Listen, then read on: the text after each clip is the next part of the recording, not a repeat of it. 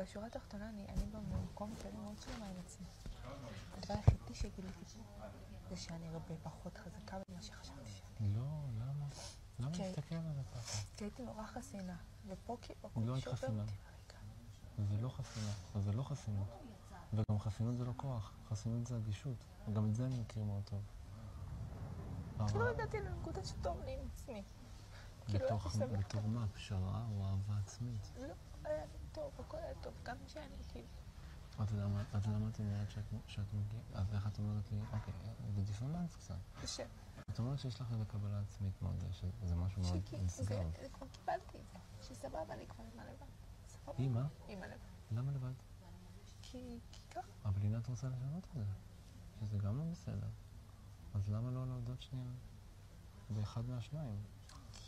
אני כאילו מרגישה שאני חושבת מאוד שונה מאחרים.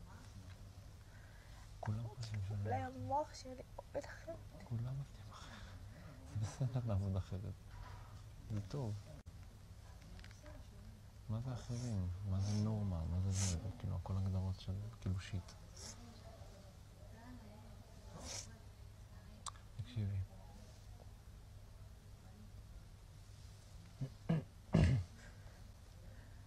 אולי קל לי לדבר במובן.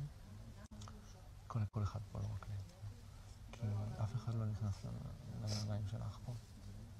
את נכנסת לסיטואציה מאוד מסוימת, מאוד קשה, וממש לא טריוויאלית. בסדר? בינתיים את מתמודדת איתה לא רע.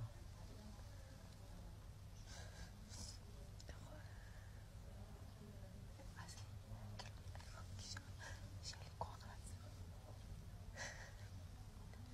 כאילו, אבל המקום הזה שכאילו, כאילו, כל... אני לא יכולה לקחת את של אחרים עליי, אני לא מצליחה. מה זאת אומרת?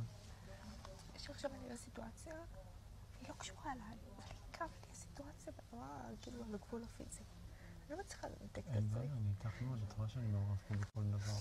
ולפעמים יש אנשים שמקבלים את זה מאוד טוב, ולפעמים יש אנשים שנפגעים מזה, או יורים עליי בחזרה. יש דרך לעשות כל דבר, גם אני לומד את זה פה. ואת אולי, היה לך, את יודעת, אה, אה, אגרסיביות מסוימת פה, או, רפיון מסוים שם, זה לא משנה, סבבה, את לומדת את האנשים סביבך ומגיבה בהתאם. יש אנשים פה שאני עדיין לומד איך להתנהג איתם. לא כל אחד מקבל את אותו היחס. הרעיון הוא שאת לא צריכה, כאילו, זה, זה בסדר להתאים את עצמך במ- במידה, אבל את לא צריכה לוותר על מה שאת... אני לא את. עזוב, נכנסתי לפינה עם עצמי מהרבה מקומות. מה שקורה לי. המון מקומות, כאילו, גם